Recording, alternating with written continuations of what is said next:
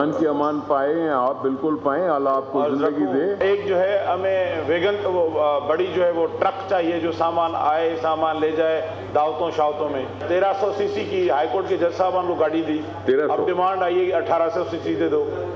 ठीक है सर? उसके बाद आई है कि अभी सेशन जज साहबान को टोयोटा करोला दे दो और एडिशनल सेशन जज साहबान को जो है वो कल्टस दे दें। सेंट्रल जेल कराची दे दो।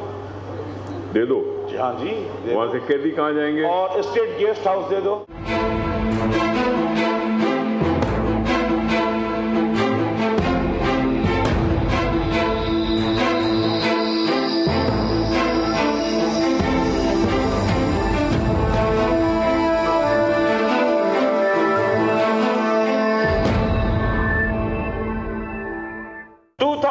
मॉडल से ऊपर जो भी 1600 सीसी इंजन गाड़ी है उसकी जो कैपेसिटी है ईयरली जो एक्साइज टैक्स जो लेती है जो 2000 पता नहीं 4000 अगर उसको 8000 10000 किया जाए तो कोई मसला नहीं है वो भी आवाम के लिए ही पैसे आएँगे। जब इधर बोल के खड़े होके बोलते हैं कि आवाम के साथ वो हो रहा है वो रहा है तो यार दो अपनी जेब में से भी कुछ निकालो अपनी जेब में भी हल्की कर दो ना। अगर टेस्ट उसमें दे दो तो है। जब ये एनटीएन नंबर में आपका एनआईसी नंबर आ जाएगा तो फिर जागीरदार भी नज़र आ जाएगा हम जे, हम जैसा ये सफ़ेद कॉलर भी नज़र आ जाएगा। जो सीधी उंगलियों से नहीं निकल सकता था अब ये यूँ टेढ़ी वो अभी निकलेगा। हाँ, हाँ, हमारे जो मकार दुश्मन है इंडिया उनके यहाँ इस वक्त औसतन आमदनी सालाना एक लाख पाकिस्तानी रुपए के करीब है। वो जिस इंजन में और जिस पेट्रोल पे चल रहे हैं उस काफ़ी आठ फ़ीसद से बढ़ते हैं वो सालाना उनकी मीशत। वो अगर ऐसे ही चलते रहे तो 2030 तक उनकी औसतन आमदन फ़ी फ़र्द साढ़े सत्रह लाख रुपए पाकिस्तानी आज के हो जाएगी। इसका ये मतलब नहीं है हर इंडियन खुशहाल हो जाएगा। इसका मतलब ये है कि उनका जो ऊपर का तबका है वो काफ़ी अमीर हो जाएगा। अ, बात फिर ये की जाती है कि मक्कार दुश्मन जिसके खिलाफ दस हज़ार कमाने में सत्ताईस सौ हम उसको उससे बचने में लगा देते हैं अगर थोड़ी सी दोस्ती सही जिस जो इस वक्त दो अशारिया पाँच फ़ीसद हमारी ट्रेड होती है मक्कार दुश्मन से वो अगर थोड़ी सी बढ़ जाती तो पाकिस्तान का हाल भी काफ़ी बेहतर हो जाता। लेकिन इस सब कुछ की बात से पहले टैक्स की बात कर लेते हैं। टैक्सेशन जो मैं कहता हूँ कि जी अमीर की जेब काटें काटें नहीं तो कम से कम तोल लें कितनी है ताकि पता चल जाए जितना आ रहा है जितना जा रहा है कितना हम ले सकते हैं। दुबई से पैसे आते हुए पूछ लें क्यों आए दुबई पैसे जाते हुए पूछ लें क्यों गए कनाडा जाते हुए अमेरिका जाते हुए इंग्लैंड जाते हुए बस पूछ लें ताकि आपको याद हो कि जी जनाब ने दो करोड़ भेजे थे चार करोड़ आए थे इनका टैक्स पाँच हज़ार आते है। ऐसे आते कम है जाते ज़्यादा है। नहीं अगर आते हैं तो वो वो एक सिस्टम है उसके थ्रू आते हैं पता नहीं चलता। एग्जैक्टली नहीं देखें मोइस जो आपका स्ट्रक्चर है टैक्सेशन का उसमें इनडायरेक्ट और डायरेक्ट टैक्सेशन का जो डिवाइड है वो बहुत अच्छी नुमाइंदगी करता है बाकी सारे मसाइल की। इनडायरेक्ट टैक्सेस पाकिस्तान में 60 से ज़्यादा फ़ीसद जो टैक्सेशन है वो इनडायरेक्ट टैक्स टैक्सेस से है।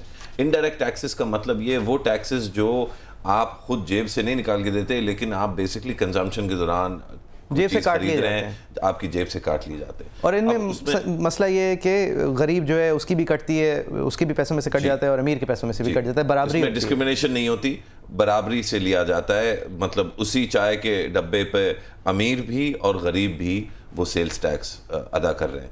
अब सेल्स टैक्स आसान बड़ा है रियासत के लिए क्योंकि आप कहें आज से पंद्रह फ़ीसद इस चीज़ पे टैक्स होगा। सब देंगे क्योंकि आपने ऊपर से इसको इम्पोज कर दिया। और आपको किसी को टैक्स नेट में लाने की ज़रूरत नहीं है। आपको जाके किसी से पूछना की ज़रूरत नहीं है कि, बेटा, ये बीएमडब्ल्यू आपने कहाँ से ख़रीदी और क्यों ख़रीदी? और अगर आपने ख़रीदी है तो मतलब अब आप, क्योंकि आपके पास इतने पैसे हैं कि आप बीएमडब्ल्यू चला रहे हैं तो आप इस पर थोड़ा सा टैक्स भी दें। या किसी और चीज़ पर दे दें, लेकिन मतलब ज़ाहिर बात है आप इतनी, ये इस कॉन्वर्सेशन से बचने के लिए हुकूमत इस तरह की हुकूमतें पाकिस्तान में और बेशतर और मुल्कों में भी ये हो रहा है। आप सबकी जेब काटो। उसमें जो नाइंसाफ़ी है वो ये है कि गरीब के पास सिर्फ़ सौ रुपये हैं दिन में या डेढ़ सौ रुपये दिन में जिसमें से आप अगर पाँच या दस या पच्चीस पैसे भी ले रहे हैं तो वो उसका एक इम्पैक्ट होता है। लेकिन अमीर के पास अगर लाख रुपए हैं तो उसमें से अगर आप रुपया दस रुपए भी ले रहे हैं तो उसको नहीं पता चलता। तो इनडायरेक्ट टैक्सेशन जो है वो एंटी पुअर है। वो। अवाम के खिलाफ है रिग्रेसिव है और वो मिडिल क्लास और गरीब तबके को अनफेयरली बर्डन करती है। अ, कैसे ठीक करें? इनकम टैक्स को वेल्थ टैक्स को क्या करें?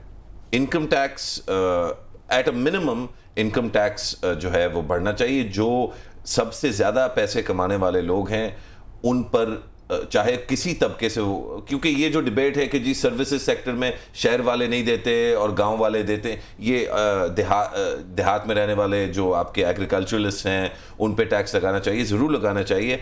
वो जवाब में ये देते हैं कि जी दुकान वाले जो है शहरों में वो नहीं देते उनको भी देना चाहिए। जो जो प्रिंसिपल है जो प्रिंसिपल है ना वो ये नहीं है कि मतलब आप गाँव के हैं तो मैं आपसे नाराज़ हूँ तो आप टैक्स दें और मैं शहर का हूँ तो आप मुझसे नाराज़ हैं तो मैं टैक्स दूँ। प्रिंसिपल सिंपल है। अगर एक लेवल से ज़्यादा आपकी आमदनी है तो आपको उस पर इनकम टैक्स देना चाहिए चाहे आप कहीं भी रहते हो और कोई भी ज़रिया आपका आमदनी हो। जो साढ़े तीन कर दिया साढ़े तीन लाख रुपए सालाना कर दिया इस बजट में। ये तो आप नीच, निचले लेवल की बात कर रहे हैं ना। ये पूछें कि जो महीने में पाँच लाख रुपए कमा रहे हैं टॉप वन फ़ीसद हाँ टॉप एक फ़ीसद। हाँ उनमें से टैक्स कितना दे रहे हैं?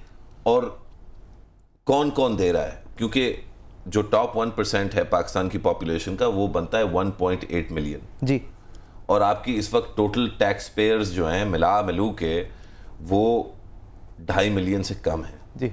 तो जो असली में टैक्स देते हैं वो सत्रह लाख हैं। उनमें से ढाई मिलियन रजिस्टर्ड हैं उनमें से छह लाख जो हैं वो टैक्स रिटर्न फ़ाइल नहीं करते बस तो- रजिस्टर्ड हैं। तो सत्रह लाख। इससे- इससे- इससे ज़्यादा तो हमारे पाँच लाख रुपए महाना कमाने वाले तो तो ये ये मतलब ये सिंपल बात है ना कि ऑब्वियसली और उसमें सिर्फ़ ऊपर वाले तबके के नहीं है जो लोग पचास हज़ार रुपए महीना कमा रहे हैं वो सब टैक्स दे रहे हैं और वो अपनी सैलरी पे दे रहे हैं। तो बजाय इसके कि सिर्फ़ जो सैलरी कमाते हैं वो टैक्स दें जो बिज़नेस चलाते हैं उनको भी टैक्स देना चाहिए जो हल चलाते हैं और उससे बहुत सारे पैसे कमाते हैं उनको भी टैक्स देना चाहिए। जो भी एक लेवल से ज़्यादा पैसे कमाता है, किसी भी सेक्टर में फॉर्मल या इनफॉर्मल उसको कम अज़ कम इनकम टैक्स देना चाहिए।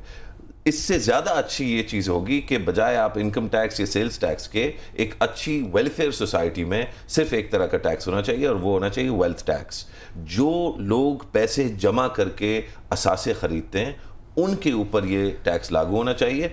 बाकी आप आम खा कमाएँ और खाएँ और जितना कमाएँगे और खर्च करेंगे कंजम्पशन से इकोनॉमीज चलती हैं।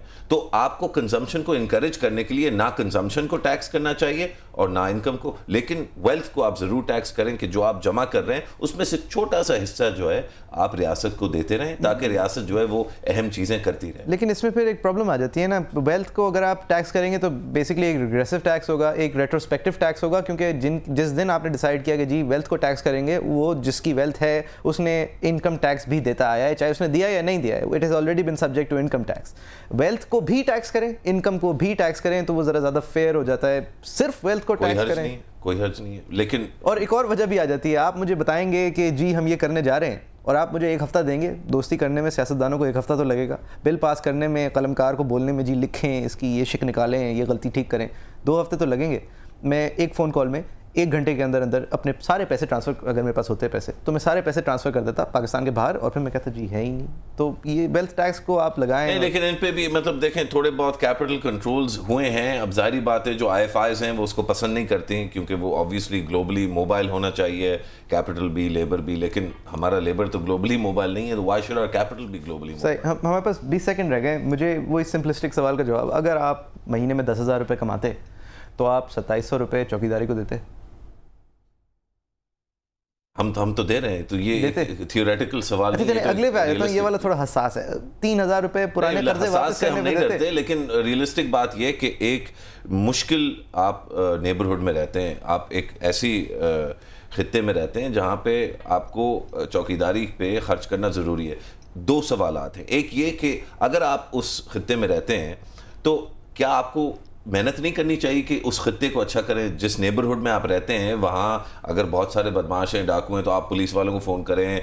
आप थोड़ा पेंट शेंट चूना शूना इस एग्ज़ाम्पल में पुलिस वाले अमेरिकन है? नहीं पुलिस वाले यूनाइटेड नेशंस हैं। पुलिस वाले वर्ल्ड वर्ल्ड सिस्टम है। हमारे पास यूएन रेजोल्यूशंस हैं कश्मीर पे। हम मतलब देखें इन चीज़ों का एक सिस्टम में चलना जो है वो मतलब एक आसान था।